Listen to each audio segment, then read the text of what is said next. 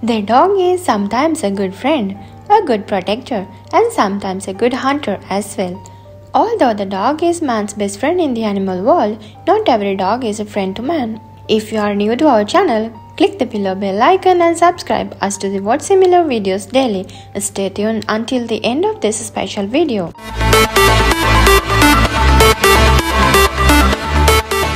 First, we are going to talk about the dog Fila Brasileiro. Fila is a large and ferocious breed of a dog that bred in Brazil. Due to the aggressiveness and restraint of the strangers, many European countries have banned the breeding of this dog.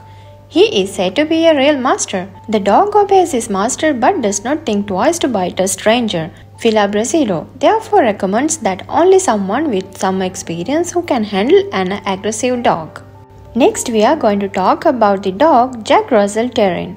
It originated in the United Kingdom in 1800s. The full growth of the dog is from 25 centimeters to 30 centimeters and the total weight is between 5 and 6 kilograms. Although they are not only a large breed of hunting dog, they are said to be truly adept at repelling even wild animals. A dog and a stranger to the house are more likely to pay attention to a severe bite. Next, we are going to talk about the Tibetan Mastiff. It is a very large breed of dog. It is more appropriate to mention as the largest dog in the world. The Tibetan Mastiff is a nomadic species found in Tibet, India, Mongolia, and Nepal. Hunting has been the main lifestyle of the people in this region since about 1000 years ago. The main cause was meat. That is why the Tibetan Mastiff help in the protection of human and their hunting as well. It is said to be the Tibetan Mastiff with the hybridization by a Tibetan.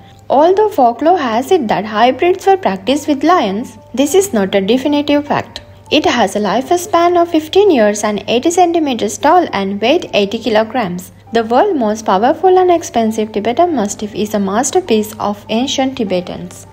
Next, we are going to talk about the dog Presa Canario.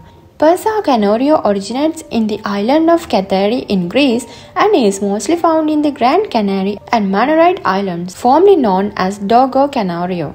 It can also be referred to as a dog. Presa Canario is a dog commonly used in Spanish dog fighting. This dog's disobedience is restricted to the owner and can be severely violent. It was banned from use in dogs until 1936. The reason is that the dog does not violently obey its owner during the fight. And the last we are going to talk about Dogo Argentino. He is often used for hunting, property protection and human protection.